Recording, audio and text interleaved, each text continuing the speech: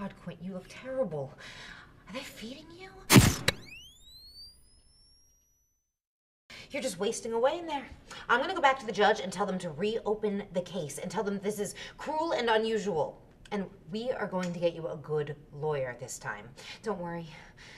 Baby, this time I'm gonna have you in my arms by Christmas. My girlfriend, her uncle is a lawyer, and uh, here he's a good one. And if we start tonight, I could have you home by Thanksgiving. Is there anything else I could do for you? Yeah, you can start by telling me who you are. At least you still have your sense of humor, you big kidder. Yeah.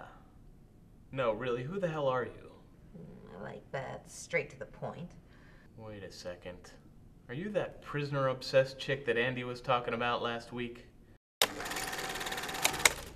was weird. This woman acted like she was my wife. Ah, creepy. Yeah. But she did show me her tits. Yeah, Andrew. Good kid. But he doesn't have the connection that you and I have. Right. Um, Patsy. it's beautiful. Thanks. My parents named me after Patsy Cline. They said they conceived me while they were listening to Crazy. Crazy for feeling so lonely. I'll bet. Look, Patsy, you seem like a nice girl. You're pretty. Why don't you go to a bar and find a nice, normal guy? What are you saying, Quint? If you're looking for a husband, you might try a local church, maybe the library, maybe just somewhere a little less dangerous. I mean, you got me, you got Andy. Keep this up, who knows what kind of guy you'll get. There are some pretty sick people on the other side of this glass killers, thieves, men who eat edible panties as snacks. Not exactly the type you want to spend the rest of your life with. But for your information, I was married. I was 21. He was 23. An accountant.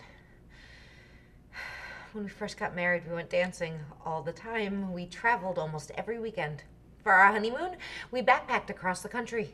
No itinerary, just our packs on our backs and the quest for adventure. Sounds nice. It was. Then one day he came home from work and sat down on the couch and he just stayed there. He didn't want to go out. He didn't want to see friends. He didn't want to go out to dinner. He didn't want to do anything.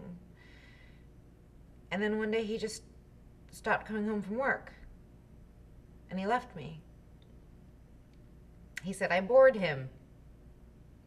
He was an accountant and I bored him. I stayed on that couch for six months. And then I vowed that I would find someone who shared my love of life. You say murderers, thieves, people who eat edible panties as snacks. I say passionate, poetic individuals who eat edible panties as snacks. You think I'm some crazy broad who's obsessed with prisoners. I might be a crazy broad, but my obsession is with life and those who know how to live it.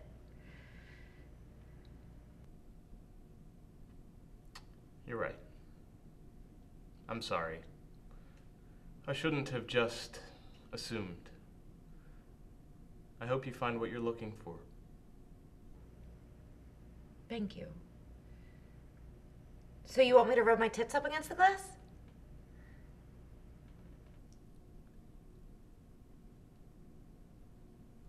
Sure.